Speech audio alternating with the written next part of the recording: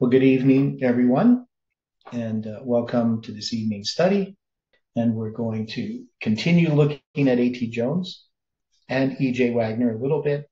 And uh, I wanted to read some of this from uh, the 13 Crisis Years Appendix B uh, by Arthur L. White.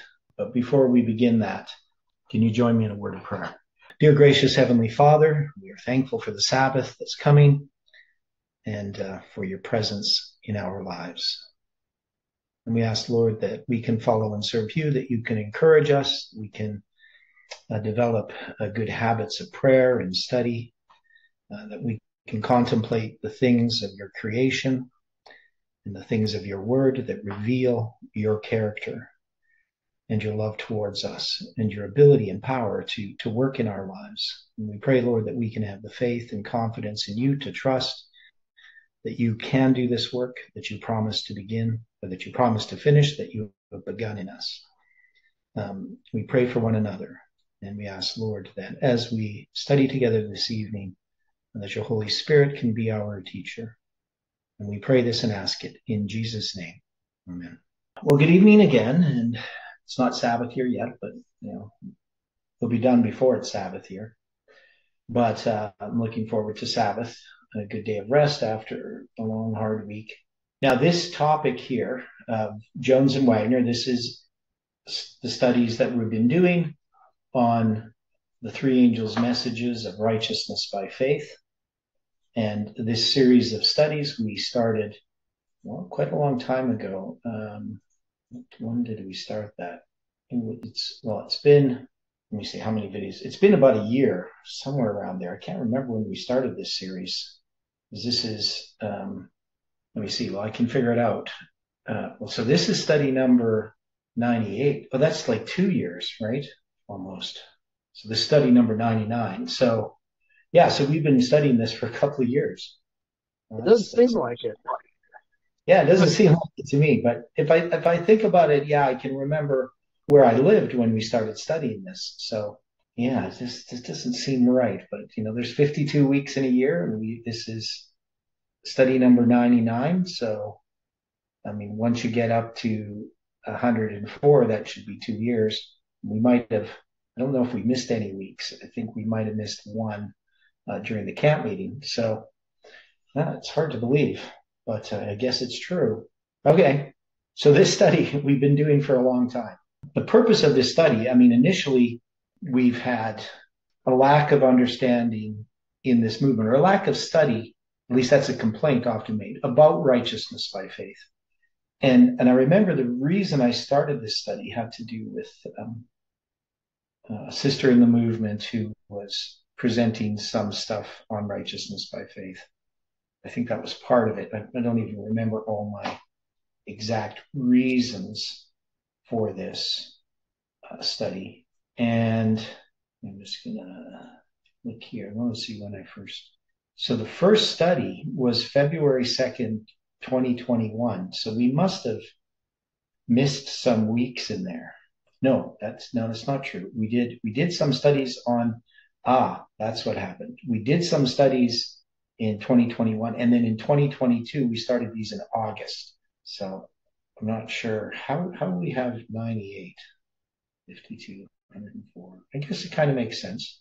Yeah, so August 19th was the first study in this series. We okay, because we did this other thing on the three angels' messages. That's what I'm looking at. And then we have the three angels' messages of righteousness by faith. And those started August 19th, 2022. So that's not quite two years yet. So we we we had gone through a lot of material.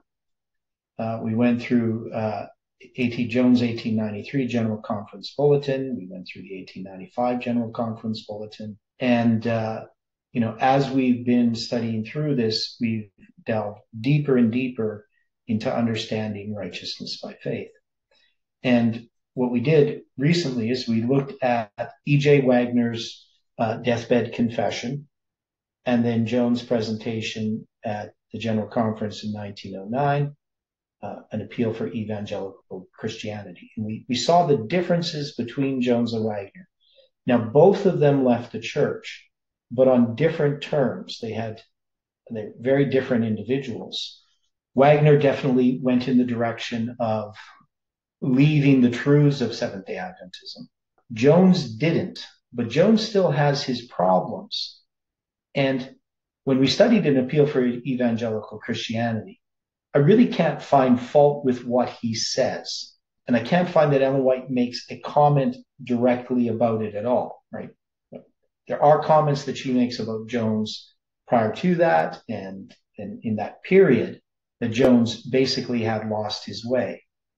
And, and you're going to see that this, uh, this article by Arthur L. White is a little bit colored in, and, and you, you should be able to see that in some of the word choices that he makes. Um, he's trying to be balanced and objective, but as we all know, if we, we all have enemies, people that don't like us, and if you have the right people, you know, there could be people that could write about me, people that could write about you, and say some pretty mean things, and color things in a way by not mentioning certain things or hinting at or alluding to uh, things, but not stating them directly, that can give an impression on the mind of the person reading that there's all kinds of problems with that person, right? Because, you know, we don't know A.T. Jones personally. We weren't there. We didn't experience any of this. This is all secondhand knowledge uh, about Jones when somebody else tells you about what he did and what other people thought and what kind of person he was. Now we could look at what he wrote and we can say, well, that what he presented, it, it seems solid, but there's things behind the scenes. And, and I think my, my opinion in, in studying this in the past and, and my opinion still, I think, is that Jones got caught up in the politics that was occurring around him. And I've done the same types of things in the past. And I'm not saying, you know, in, in the distant past, sometimes in the recent past. We can get caught in a trap. There can be a snare set for us and we, we can walk into it even though we know better. And, and that is going to weaken our influence. And, and it's this trap that Satan has set. And so we have to be very, very careful in what we do. One is that we always consult God in the decisions that we make. But there's times, you know, I knew I was walking into a trap, but I walked into it anyway. And, you know, I sometimes, you know, kick myself, but, but sometimes those traps, they're, they're very seductive, right? That's why they're a trap, you know, like, uh, if there's no cheese on, on the mouse trap, the, the mouse isn't going to go into that trap, right? but you put a bit of cheese on there and even though he knows better, that, that cheese is seductive. And so that happens to us. And I think that happened with Jones, that there's certain aspects of our character that Satan knows how to use. And they're not even, they're not even the worst aspects of our character. Sometimes they're actually parts of our character that, that for the most part are, are, are just our, our personality. Uh, there's just things that, you know, sometimes those characteristics can be good in certain situations, but they can be weaknesses in other situations. So for instance, you know, using my myself as an example, I tend to be a peacemaker. I like to, to be a peacemaker. And that gets me caught sometimes because I end up in situations where there's nobody there interested in making peace. And yet I approach it with that naivety that I can somehow, you know, patch things up. And so, so that's gotten me in trouble. And, and there's lot, lots of, you can probably relate to, to these to these things, how that there are things in your personality that, that you can get trapped by. So what we're going to look at is, is what Arthur L. White, his opinion about what became of A.T. Jones and E.J. Waggoner. So he tells us Jones was born in April 26, 1850 in Ohio, Ohio, right? He was um, in the United States Army. He studied a lot of history and uh, you know, so he was uneducated as far as, you know, official education is concerned. You know, he didn't have a formal education as a minister, uh, but he became an Adventist and then he became a minister. And then uh, he also became associate editor of the Signs of the Times in 1885. Now, E.J. Waggoner was born in 1855, so five years younger, roughly, than Jones. So January 12th, 1855. And, and he went to Battle Creek College and he received a classical education. We know him as Dr. Waggoner because he took a medical course, right? So he studied at Bellevue Medical College in New York, and then he went to Battle Creek Sanitarium where he ser- served as a doctor. But he wanted to be an evangelist. In 1883, he was called to assist his father, J.H. Waggoner, who was the editor of the Signs of the Times, or was the editor of the Signs of the Times, May 6, 1886. Then it says, editor of the Signs of the Times, May 6, 1886 issue list E.J. Waggoner and A.T. Jones as associate editors. So they were associate editors of the Signs of the Time in 1886. So they, you know, they talk about their build, their appearance. Waggoner was short. So this is A.W. Spalding wrote about them. He knew both of them. He says, unlike as a garden of fruit and apples of the desert were these two, and yet they teamed together in close fellowship and cooperation. Young Waggoner was not even like his father, tall and massive. He was short, stocky, somewhat diffident. Uh, Jones was a towering, angular man with a long, with a loping gait and uncouth posture and gestures. So here you see a little bit of, I don't know, to describe somebody with uncouth posturing and gestures. It, it's sort of a negative picture that he gives of Jones. Uh, Waggoner was a product of the schools with a leontine head, well packed with learning and with a saber a tongue. Uh, Jones was largely self-taught, a convert found as a private in the United States Army, who studied day and night to amass great historical and biblical knowledge. Not only was he naturally abrupt, but he cultivated singularity of speech and manner, early discovering that it was an asset with his audiences. So, you know, you can see that uh, Spalding doesn't really have a good view of Waggoner. Would you agree with me that, that the way that, or Jones, would you agree with me that he doesn't have a good uh, impression of Jones, even though he knew him personally? We, we can see how somebody can describe an individual, like different people could describe, you know, you, each one of you, you know, differently. Different people who know you might describe you quite differently, not just in your looks, uh, but also in your personality. Was Jones naturally abrupt? I don't know. That's what uh, Spalding says, A.W. Spalding. But uh, whether that's correct or not. And, and even then, what does that really mean about a person? We all have certain characteristics and aspects of how we communicate. Uh, sometimes people have, some people are more eloquent than others in their speech. Some people have better looks, you know, some people um, have better manners or different manners, brought up in a different culture. So I don't know if any of this is really useful right? All I see that we, we have here is that this is meant to sort of give uh, the way that I see what's what's being written here so far is there's these defects in Waggoner and Jones, and and that that explains to some degree the direction that they went and some of the things that are going to be said about them here says here the Minneapolis Conference and its aftermath drew both Elder Jones and Elder Waggoner into increasing prominence in the work of the church. God bless their ministry, and it was their privilege to lead a renewed emphasis on the basic Protestant doctrine, righteousness by faith. For many years, they were held in high esteem. Now, you see that renewed emphasis? We studied that before. So, did Jones and Waggoner give a renewed emphasis on the basic Protestant doctrine of righteousness by faith? Was that what they presented?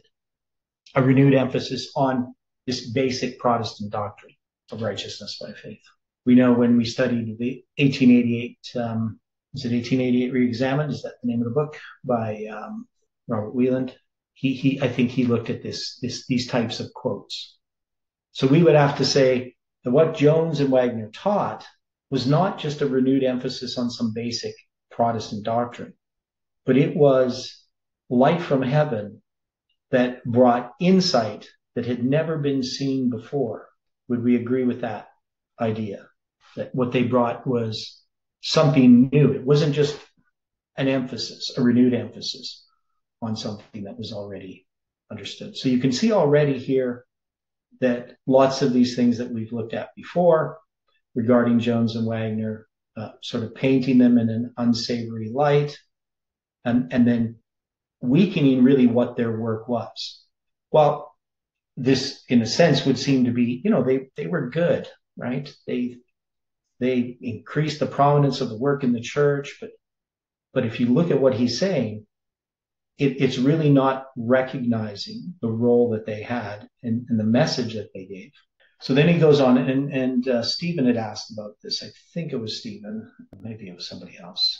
Can't remember. Somebody asked. I don't think it was Stephen because he does not usually here Friday night.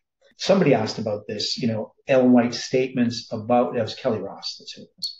Uh, knowing well the peril of those who are used mightily of God and with a seeming premonition Ellen White wrote in 1892. So they had asked about this statement. I think this is probably the statement they were thinking of.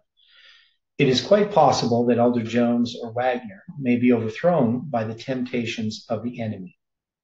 But if they should be, this would not prove that they had had no message from God or that the work that they had done was all a mistake.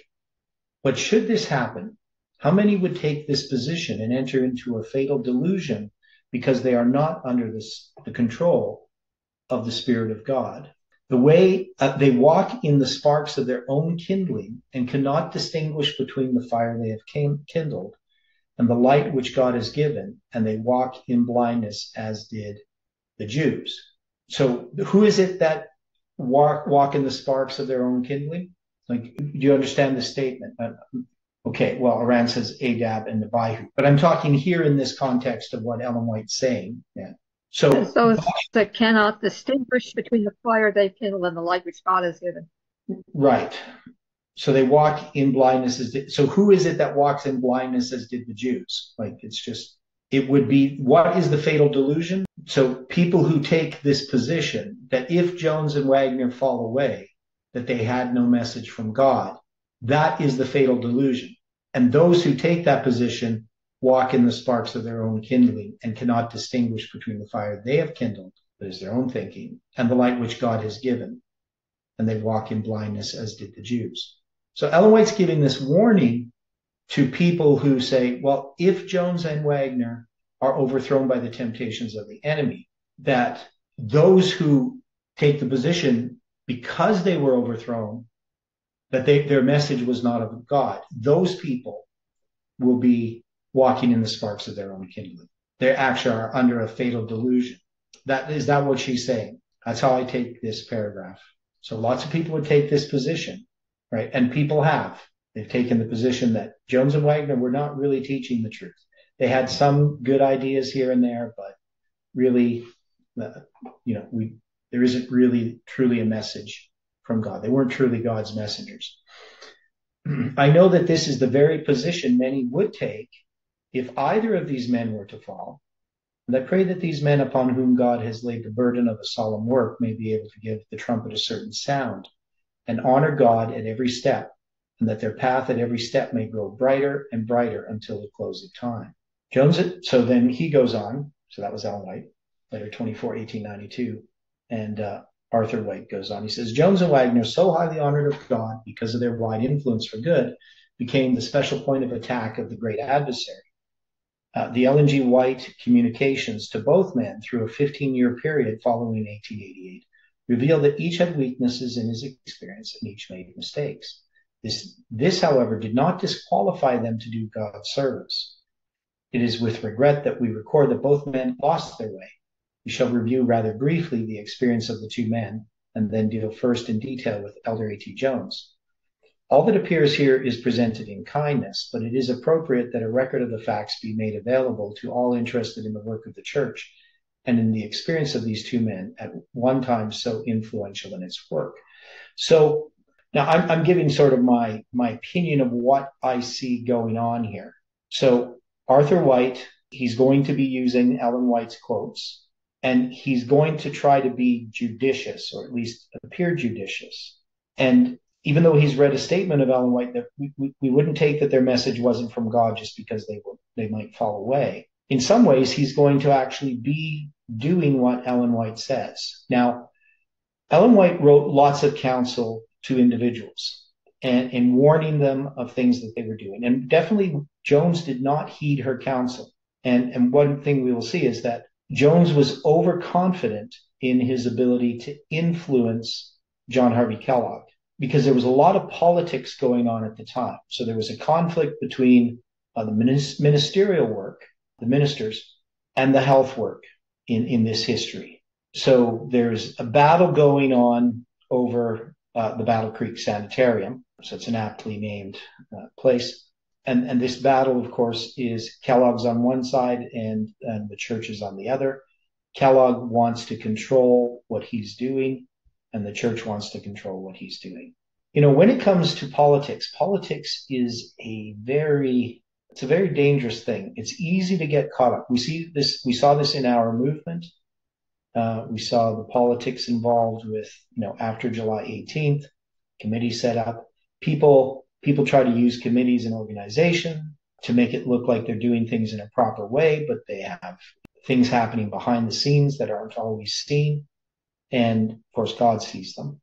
But we can get caught up in those things. We can think that it's important you know, that our voices are heard. And, and it's much easier just to tr- trust that God's going to take care of things. So, uh, in 1884, Elders Waggoner and Jones met on April 26, 1886, as Elder J.H. Waggoner, the father of E.J. Waggoner, was released from his responsibilities as editor of the Signs of the Times. E.J. Waggoner and A.T. Jones were selected to serve jointly, and their names appeared jointly as editors for three years from May 13, 1886 to May 6, 1889. So April 26, 1886, that's going to be A.T. Jones' uh, 36th birthday, right? Because he's born April 26, 1850. So kind of interesting. The issue of May 6, 1889 lists E.J. Waggoner as editor and A.T. Jones as special contributor. Elder Waggoner then carried the work of editor until May 11, 1891 when the name of Elder M.C. Wilcox appears on the masthead. It will be observed that the two men held editorial responsibilities through the Minneapolis Conference and E.J. Waggoner had for two and a half years beyond. Uh, through the 1890s, Elder A.T. Jones was much in Battle Creek. He attended all sessions of the General Conference from 1888 to 1905 and often presented important addresses. Ellen White had occasion on April 1893 to caution Elder Jones regarding extreme views in his presentations of the relation of faith and works. Okay, so they're going to give us selected messages to, to read there. Now, we read the 1893 General Conference uh, bulletin and what Ellen White says about the 1893 General Conference. So, uh, it, and I just want to see if I click on that, does it bring me to that page? Okay, interesting. Okay, this this is interesting. I was attending a meeting and a large congregation were present. In my dream, you were presenting the subject of faith and the imputed righteousness of Christ by faith. You repeated several times that works amounted to nothing, that there were no conditions. The matter was presented in that light that I knew minds would be confused and would not receive the correct impression in reference to faith and works, and I decided to write to you. You state this matter too strongly. There are conditions to our receiving justification and sanctification and the righteousness of Christ. I know your meaning, but you leave a wrong impression upon many minds. For good works will not save even one soul, yet it is impossible for even one soul to be saved without good works. God saves us under a law that we must ask if we would receive, seek if we would find, and knock if we would have the door opened unto us. Uh, Christ offers himself as willing to save unto the uttermost all and to come to unto him. Him that cometh to me I will in no wise cast out. You look in reality upon these subjects as I do, yet you make these subjects, through your expressions, confusing to minds. And after you've expressed your mind radically in regard to works, when questions are asked you upon this very subject, it is not lying out uh, in so very clear lines in your own mind, and you cannot define the correct principles to other minds, and you are yourself unable to make your statements harmonize with your own principles and faith. Uh, the young man came to Jesus with the question, Good master, what shall I do that I may inherit eternal life? And Christ saith unto him, Why callest thou me good? There's none good but one that is God. But if thou wilt enter into life, keep the commandments. He saith unto him, Which? Jesus quoted several. And the young man said unto him, All these things I have kept from my youth up. So we're familiar with this statement here.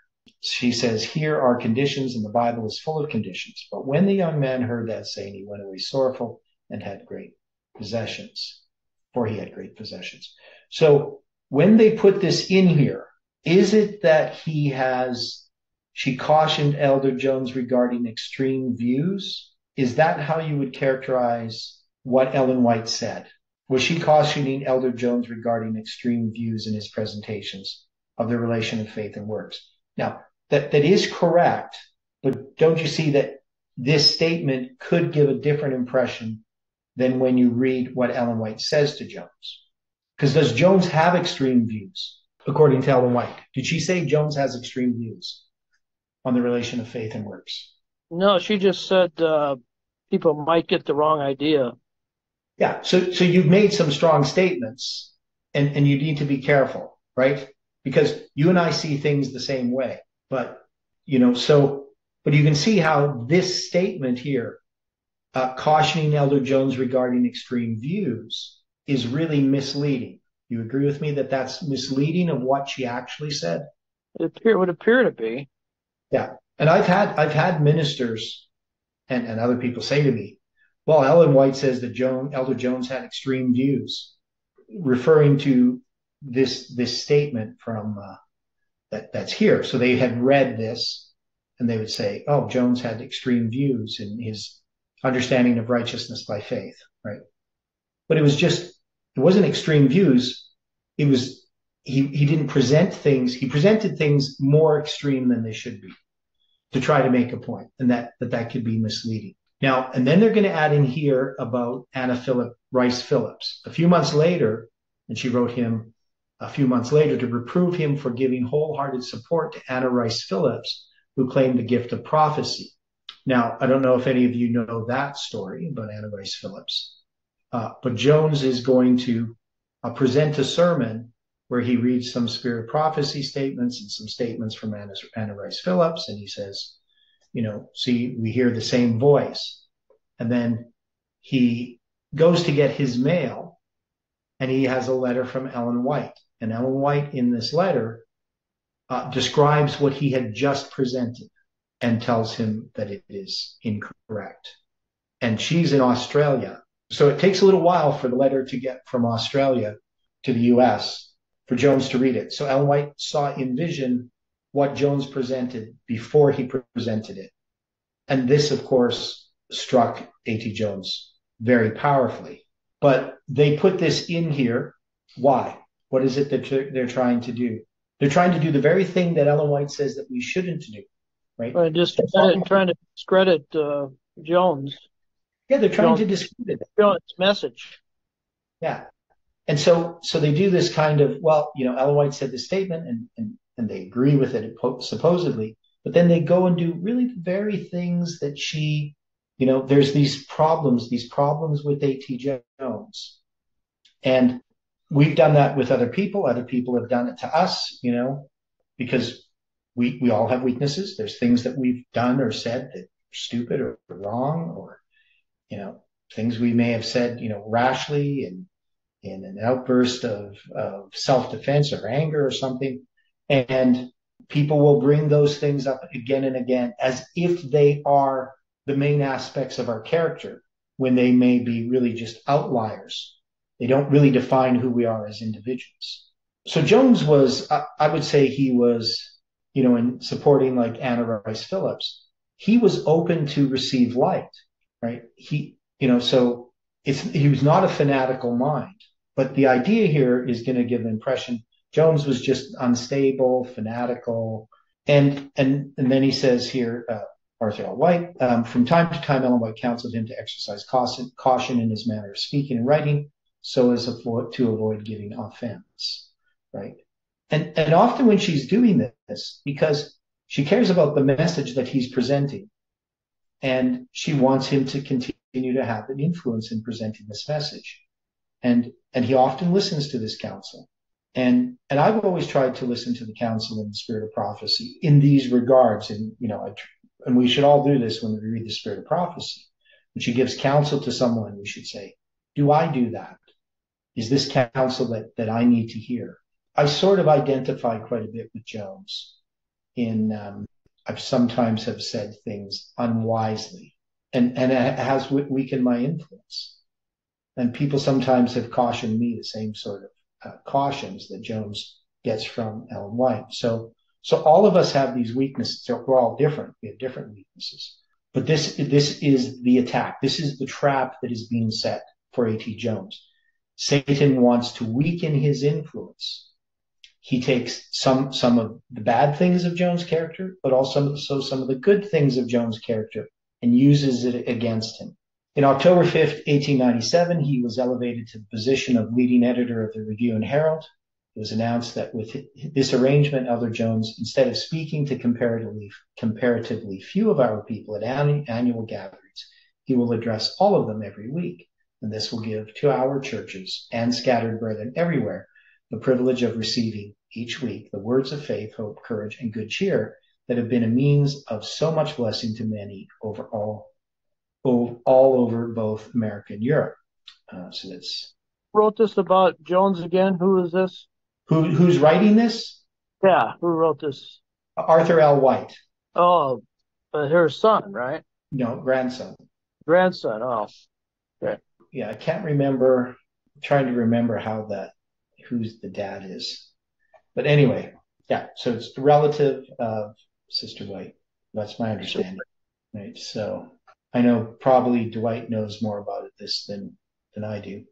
Uh, this arrangement continued until May 14, 1901, when an adjustment was made and Elder Uriah Smith was returned to the position as editor in chief of the Review and Herald, and Brother Jones was freed for evangelistic work in the field.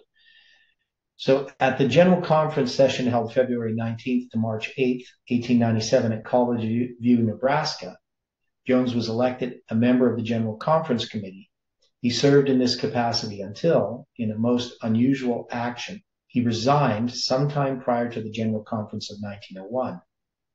Now, this is the General Conference where Ellen White's going to call for reorganization. Uh, concerning this, it should be noted that the sub- subsequent to the General Conference session held in February 1899, efforts were made to right certain wrongs pointed out by the testimonies, and it is reported uh, the efforts of the committee in this direction did not, in every instance, meet with that hearty cooperation that might be expected. This caused Elder Jones to lose sight of the dignity of his position to the extent of allowing, as the testimony says, an evil spirit to cast drops of gall into his words. And forgetting the warning given him of God, he pressed his brethren into hard places. When mildly reproved by the president of the General Conference for his course and counseled to make the matter right with the brethren by apology, he resigned from the committee. So this is from a paper called a Statement Refuting Charges Made by A.T. Jones Against the Spirit of Prophecy and the Plan of Organization of the Seventh-day Adventist Denomination. So here you can see that this, and, and that's a pamphlet published May 1906 by the General Conference Committee. So you can see they're going back over things that happened in 1899, and those things are being held against him in 1906. So you understand what's happening, right? This is personalities, politics, things getting in the way. Jones obviously making a mistake, right? Seeing that people aren't following the counsel that Ellen White's giving regarding organization and or correcting some things that need to be corrected, he gets upset, right? That there, this is sort of a, a fancy way of saying, you know, he got angry, right? and then he's mildly reproved by the president of the General Conference for his course. Now, you can see there in the language, do you, do, we weren't there, but do you think he was just mildly reproved? I mean, they're going to put mildly reproved there. So the president of the General Conference only mildly reproved him. But Jones, an evil spirit to cast drops of gall into his words, right? Which is true right? Forgetting the warning given him of God, he pressed his brethren into hard places. So we, we know that this is, is true about Jones, but I don't know, you know, maybe he did mildly reprove Jones.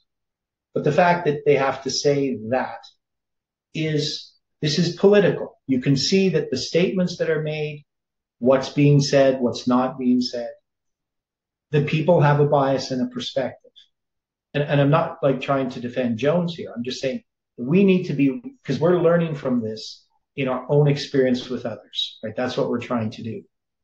And this this, this is not just to know about something historically, what happened, but, but things that we can learn from, that we can recognize. And we need to recognize our own weaknesses and the traps that we can be caught in. And Joan is, is caught in a trap. And that trap has basically discredited Jones in many people's minds, right? So there's many people who have an impression of A.T. Jones and E.J. Waggoner that they've got from this type of material and also from, uh, you know, George R. Knight and, and other material about Jones and Waggoner. Because if you can't attack the message, you attack the man. Okay. And, and Jones did have problems. So, we, and Ellen White's going to give him some very hard counsel, which, which he would also do with, with all of us at, at different times in our lives. And she did also with the General Conference president and, you know, but yeah, we pick the, we pick the things that uh, we want to hear that fit in our agenda, and the things that we uh, don't want to hear, we don't mention. Right. So it's it's it's crafted in a way to give a certain impression. At the General Conference session held in Battle Creek on April 1901, as presented in chapter 17 and 18 of this book here, uh, the work of the church was reorganized, which reorganization resulted in the drawing in of a number of men to carry responsibilities. The field was divided into union conferences, and provision was made for the organization of General Conference departments. Jones was again elected to the General Conference Committee, a position which he held until the session of 1905. In the summer, summer of 1901, he was assigned to general work in the field and attended certain camp meetings. He took the position that we should have no kings, that is, we should not have conference presidents. This sentiment prevailed in the writing up of a new constitution at the General Conference of 1901. The remit was that a General Conference committee was elected, with the committee authorized to appoint a chairman and other officers. A.T. Jones gave strong support to this plan. As he entered the field attending camp meetings in 1901, his work took him to the West Coast, first to the Pacific Northwest and then to California. At the California conference session in June, he was elected president and oddly enough, accepted the office. His harsh and domineering spirit soon cast him the confidence, cost him the confidence of many of those with whom he worked. Okay, so his harsh and domineering spirit. Now, can we take, should we take this with a grain of salt? Or should we believe that Joe Jones had a harsh and domineering spirit? In your experience, can people easily be seen as having a harsh and dominating spirit or domineering spirit? that don't, but they can be cast in that light. Well, the way he the way he explained things doesn't give me an impression that he had that has that spirit. And that's because you agree with him. Well, the way he explains things when he's right. talking about by faith, it's the way he conducts mm-hmm. himself. Yeah, but other people who would hear the same presentations that you that we read uh, would actually take him very differently. Yeah, and we probably have all experienced that, that there are some people, they're going to interpret in others things that are actually in themselves. They're going to uh, see in others things that are actually in themselves. You know, and, and, and I've experienced this, I'm sure that you have too, that there are people who they, they can accuse you of something, but actually that's, that's something that's more in their character than your own. And vice versa, that sometimes there are things that I react to I think that I see in others. And those are things that actually are representative in my own character. And that anytime you condemn someone, you really need to take a hard look at yourself. So whether Jones had a harsher domine- domineering spirit, I don't know. You know, I wasn't there. But I do know that people can be characterized in, in lots of different ways by different people. Jeff experienced that. You know, some people really like Jeff. There's some people who, who thought he was was terrible, right? They just had all kinds of negative things to say about him. And so, so I'm not so keen to just accept this sort of evaluation of an individual, especially when I don't see it in their writings. Now, I can see that Jones can be very straightforward and maybe not as diplomatic as he could be, but he is American after all. So I find that with a lot of Americans, no offense, you Americans out there, but uh, definitely you're a bit different than you know the average Canadian, but there's always exceptions in both sides. So it's kind of a generalization. And you, we look at people like Dwayne Dewey, who I really liked, but he could come across that way. But you know, it wasn't just because somebody comes across as harsh and domineering doesn't mean they are. So I, I really have a hard time with somebody writing this, saying his harsh and domineering spirit uh, soon cost him the confidence of many of those with whom he worked. We don't know if that's really what was going on. So, so I'm reluctant to have an opinion about it.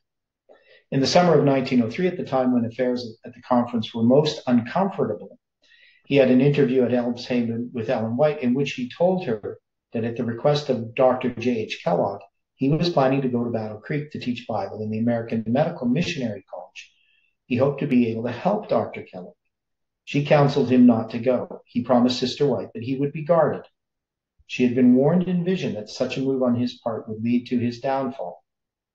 She wrote of it thus. In vision, I had seen him, A.T. Jones, under the influence of Dr. Kellogg. Fine threads were being woven around him till he was being bound hand and foot, and in his mind and his senses, and his mind and his senses were becoming captivated. Now, what is it that uh, many of you don't really know the whole story, and we, we all don't know the whole story. But we, we know we have this conflict between Kellogg and the conference. And Kellogg was able to, to bring Jones over to his side. He was able to manipulate Jones. Jones here is trying to, to help Kellogg. He believes that he can help him. And Ellen White says, no, this is going to be dangerous for you. But Jones doesn't heed that counsel. Then comments Ellen White as she reported this to Brother Jones just before he went to Battle Creek. She could see that his perceptions were becoming confused and that he did not believe the warning given. The enemy works in a strange, wonderful way to influence minds. But Jones was sure that he would not fall away. He was a man with too much self confidence. And of course, that's not Ellen White's words, that's Arthur White's words.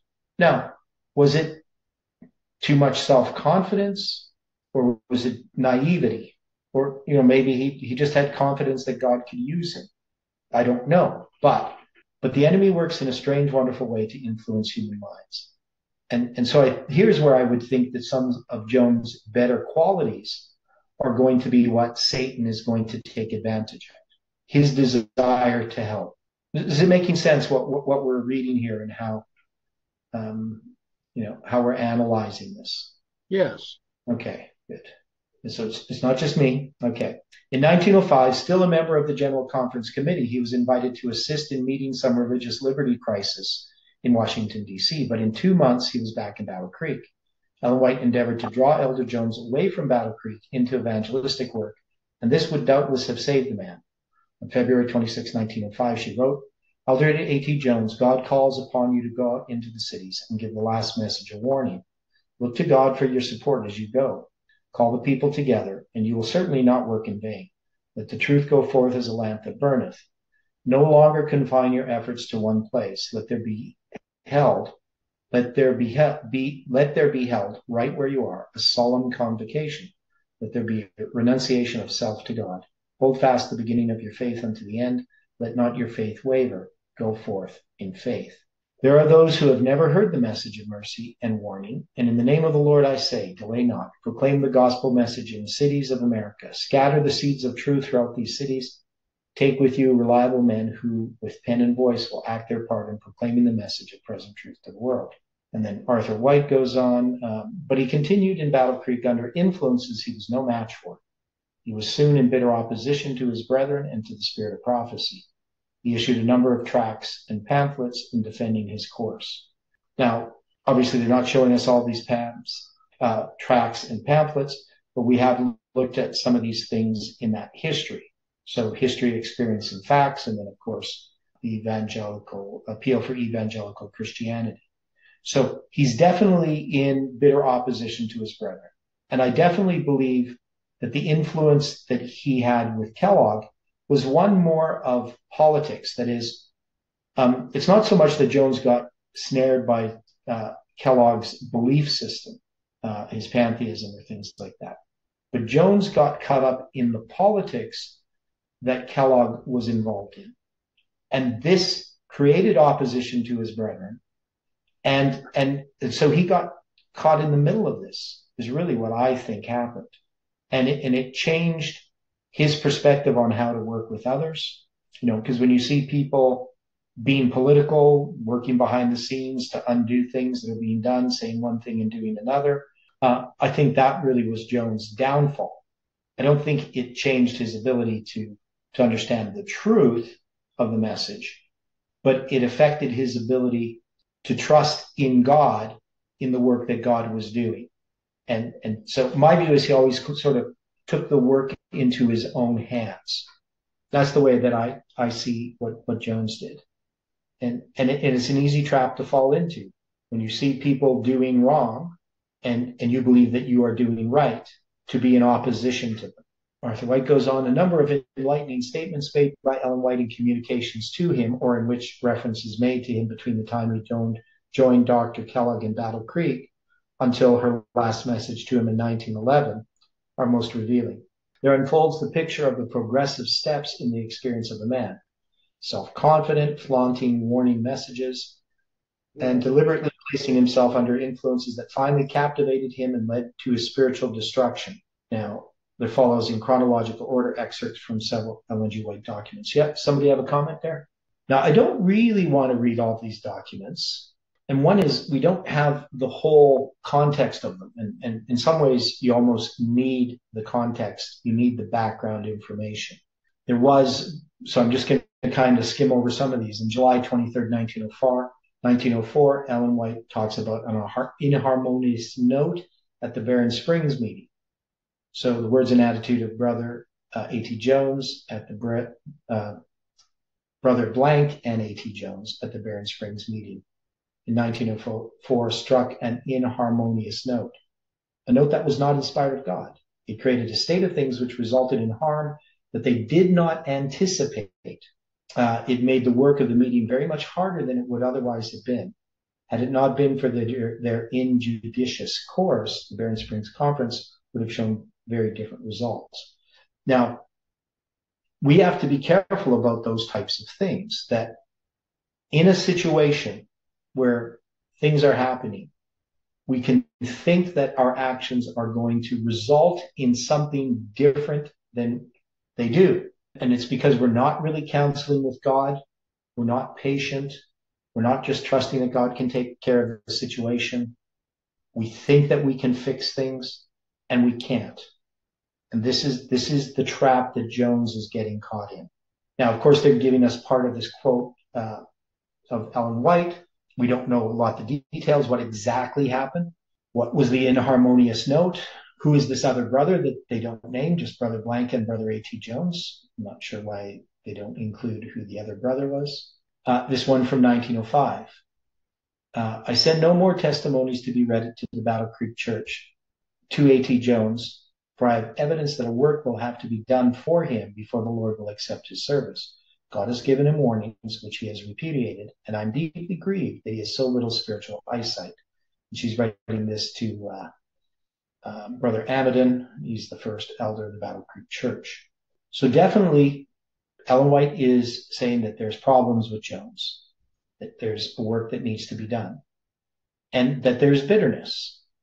Uh, you may be surprised to hear the words that you have heard from Elder A.T. Jones, but I'm not all, at all surprised this is the development of the man, and the spirit that is counter to the spirit of God comes upon him, in him as he is at the present time. You have a representation of a man who is not under the molding influence of the Spirit of God. The Lord accepts no such demonstrations of bitterness. So, and, and I saw this in lots of things that Jones wrote in that period. And even in an appeal for evangelical Christianity. Uh, despite Jones' uh, protestations to to the contrary. Um, I do believe that there was in Jones a spirit of bitterness and self-defense. And, and, and it's hard not there not to be. And the best thing that Jones could have done is left it alone. You can say, well, I need to tell the people what they did was wrong, but you may feel that you need to. You may feel that you need to reprove people and correct them when they're on a wrong course. But sometimes the best thing you can do is leave them alone. And one is you, you don't do yourself any good. You're just going to be disappointed that the message is not accepted. And I, and I really think this is the problem that Jones had. And, and so he is bitter and bitterness is not from God. But what we don't see in Jones is a rejection of the message as we saw in E.J. Waggoner. Now, there's this other thing from uh, letter 98, 1906. Read in my books, Patriarchs and Prophets in Great Controversy, the story of the first great apostasy. History is being repeated and will be repeated. Read then and understand. So this letter, 1906, Farnsworth, Farnsworth and brother, sister Ellen White, St. Helena Clinton. So, so we don't have letter. We just have the reference here. Uh, EW. So, so letter 19 here. I'm just going to see letter 19, 98, 1906. I want to look this up because there they're not giving us much context. So let's see what this letter. She wrote a lot of letters in 1906. Yeah, it's brother and sister Farnsworth that she's writing to.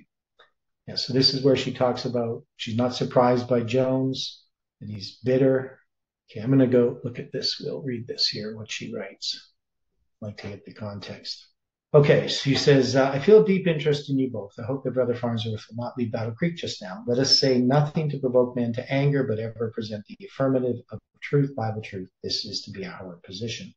I feel no surprise in regard to the course of Elder A.T. Jones. Last night, my mind was called upon many subjects. In the visions of the night, I was reading the scriptures, and the power and spirit of God was upon me. Many things were presented to me in vision, which I may give at the right time. I was saying with great power, Thus saith the Lord, in an acceptable time have I heard thee, and in a day of salvation have I helped thee, and I will preserve thee, and give thee a covenant of the people, to establish the earth, to cause to inherit the desolate heritages, that thou mayest say to the prisoners, Go forth, and to them that are in darkness, show yourselves. They shall feed in the ways, and their pastures shall be in high places. They shall not hunger nor thirst, neither shall the heat nor the sun smite them, for he that hath mercy on them shall lead them even by the springs of waters shall he guide them. And I will make all my mountains a way, and my highways shall be exalted. Behold, these shall come from far, and lo, these from the north and from the west, and these from the land of Sinim, which is China. Um, sing, O heavens, and be joyful, O earth, and bring forth into singing, O mountains. Right? So she's going to quote all these passages. So I'm not going to read all of them. So then she says, Hear and understand this matter. For you know the voice. The time is now short. We must remember that we are not to be conquered by discouragement. No power can conquer satanic agencies, but the power of him who gave his life to redeem man, dying in the sinner's place, that all who may repent and be converted. Christ is the propitiation for the sins of all who repent and believe in him as their personal savior. I gave my back to the smiters and my cheeks to them that plucked off the hair. Do you understand that it was the Lord our Savior who went through these scenes of humiliation? Hear ye and understand, and let every soul take in the situation. Christ suffered all this that is written of him. Who prompted this cruel treatment? The one who was once the most exalted of the angels in the heavenly courts. He was imbuing human minds with his own attributes. It was Satan who led men to treat Christ thus. Right, I gave my back to the smiters, my cheeks to them that plucked off the hair. I hid not my face from shame and spitting. For the Lord will help me. Therefore I shall not be confounded. Therefore I have set my face as a flint, and there and and I know that I shall not be ashamed. He is near that justifieth me. Who will contend with me? Let us stand together. Who is mine adversary? Let him come to me. Behold, the Lord God will help me. Who is he that shall condemn me? Lo, they shall wax old as a garment. The moth shall eat them up. So, you know, Christ here is showing his confidence in God in spite of what ha- is happening around him. Right? So then she says uh, to brother and sister Farnsworth, uh, my brother and sister, be of good courage. Let your hearts be glad and rejoice. There's no need for us to complain, for the Lord is the strength of his people. You may be surprised to hear the words that you've heard from Elder A.T. Jones, but I'm not at all surprised. This is the development of the man when the spirit that is counter to the spirit of God comes upon him. In him, as he is in the present time, you have a re- representation of a man who is not under the molding influence of the Spirit of God. The Lord accepts no such demonstrations of bitterness. They do not become the man. And the Lord has been so gracious to him, helping him in the time of his distress. Read my books, Patriarchs and Prophets, and the Great Controversy. The story of the first great apostasy. History is being repeated and will be repeated. Read then and understand. The time is drawing to a close when power of influence, of intellect, of knowledge in science can cover the least departure uh, from the Lord's way. He has pledged his word that he will humble every oppressor of his ministers or the appointed agencies engaged in his work. Persecuting powers will be brought into judgment, for all the resources of heaven and earth are to be uh, are to be called at God's command to do his work. God sees and knows those who are proud and self-sufficient, and he will bring them into judgment. Before the flood, men cast off the fear of God and trampled underfoot his holy law, but judgment overtook them. Um, thy wisdom and thy knowledge it hath perverted thee, and thou hast said in thine heart, I am, and there's none beside me. Say to our brethren and sisters who have known and understood the voice of God in his word, let nothing interpose between you and your eternal interests. Think of this representation given of Christ in the scriptures. I have quoted. Savior, in his supreme power, could have palsied the hands that smote and insulted him, challenging him, the Prince of Life, to prophesy. When men refuse the counsels of God and walk directly contrary to them, they make very strange speeches, but do not but do not be the least concerned or surprised. The Lord is watching every movement.